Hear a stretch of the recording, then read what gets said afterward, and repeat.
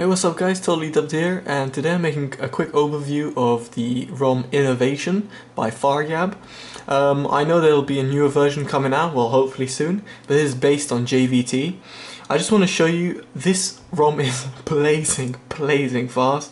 Um, I don't know if you can see but, and if you can feel it, but god it is absolutely lightning fast. Um, it's probably the quickest JVT ROM I have ever used.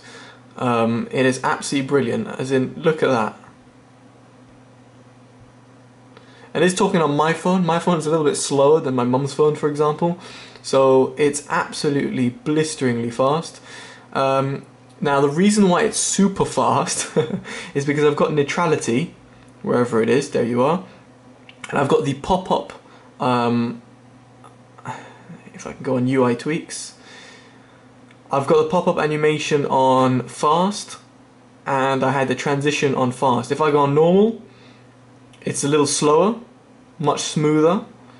This is how it comes, like the ROM comes, and you get CRT effect. When you go on fast, you don't get the same CRT, CRT effect. In fact, you don't get a CRT effect, but the ROM, as you can see, will is much like snappier. So if you don't care about CRT effect, I definitely suggest that because that's like a cheap cheap way of getting your phone to go super fast. Um, as you can see um, from the Darky OTA app, I um, added some uh, honeycomb theme up there. So you can see it's uh, themed at the moment. But forget the theme, what we're talking about is the ROM. So the ROM is, is pretty much like what you would expect. Um, so there's nothing out of the blue um, that's different. There's some extra options that you you might get over here. For example, let me try and think, uh, like screen lock sounds. Um, let's see if we can. There you go. It comes on. So that you wouldn't get. You've unfortunately only got uh, one lock screen, which is the uh, I think it's the Android the Android lock screen to unlocked. But um, and yeah, and the apps inside are basically almost like you get on the SGS1, stock SGS1. They're not the SGS2 ones.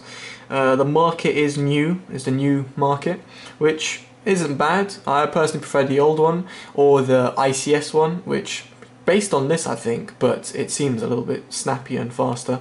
Um, especially if your connection is a little bit slow like mine, so it's a little bit of pain in the ass. Um, and obviously you can see the music is just normal.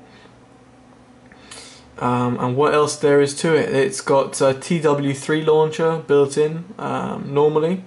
As you can see I put Zeam launcher on it so I'm just going to show you that right now. Uh, manage applications and then go down to Zeam